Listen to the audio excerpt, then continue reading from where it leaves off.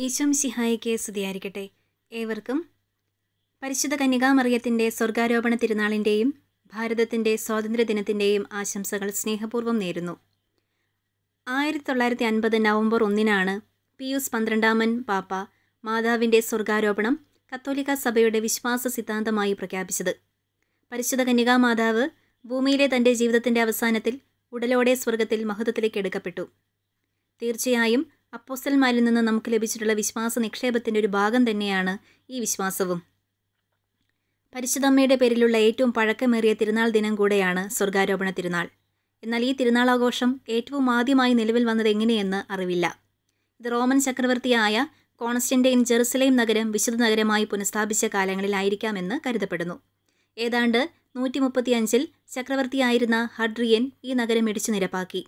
പിന്നീട് ജുപ്പിറ്ററിന്റെ ആദരണാർത്ഥം പുതുക്കി പണിതത് മുതൽ ഏതാണ്ട് രണ്ട് നൂറ്റാണ്ടോളം വിജാതയുടെ നഗരമായി ഇത് നിലകൊള്ളുകയായിരുന്നു. ഇരുന്നൂറ് വർഷക്കാലയളവിൽ യേശുവിന്റെ എല്ലാ ഓർമ്മകളും ഇവിടെ നിന്നും നശിക്കപ്പെടുകയും കർത്താവിന്റെ ജീവിതം മരണം ഉദ്ധാനം തുടങ്ങിയവ കൊണ്ട് വിശദമാക്കപ്പെട്ട സ്ഥലങ്ങളെല്ലാം വിജാതികളുടെ ക്ഷേത്രങ്ങളായി മാറ്റപ്പെടുകയും ചെയ്തു. മുന്നൂറ്റി മുപ്പത്തിയാറിൽ ഹോളി സെപ്പൾച്ചർ ദേവാലയം നിർമ്മിക്കപ്പെട്ടതിനു ശേഷമാണ് ആ വിശുദ്ധ സ്ഥലങ്ങളെല്ലാം പുനരുദ്ധരിക്കപ്പെടുകയും നമ്മുടെ കർത്താവിന്റെ ഓർമ്മ പുതുക്കലുകൾ ജെറുസലേമിലെ ജനങ്ങൾ കൊണ്ടാടി തുടങ്ങുകയും ചെയ്ത്. യേശുവിന്റെ മാതാവിനെക്കുറിച്ചുള്ള ഒരു ഓർമ്മ പുരാതന ക്രൈസ്തവ സമൂഹം ജീവിച്ചിരുന്ന സിയോൻ മലയിലെ മറിയത്തിന്റെ കബറിടത്തെ ചുറ്റിപ്പറ്റിയുള്ളതാണ്. മറിയം നിത്യവിശ്രമം പ്രാപിച്ച സ്ഥലമാണ് ആ മല. അവിടെ വെച്ചാണ് പരിശുദ്ധ മറിയം മരിച്ചത്. ആ സമയത്ത് മറിയത്തിന്റെ ഓർമ്മ പുതുക്കൽ ആഘോഷിക്കപ്പെട്ടിരുന്നു. പിൽക്കാലത്ത് അത് സ്വർഗാരോപണ തിരുനാളായി മാറുകയും ചെയ്തു.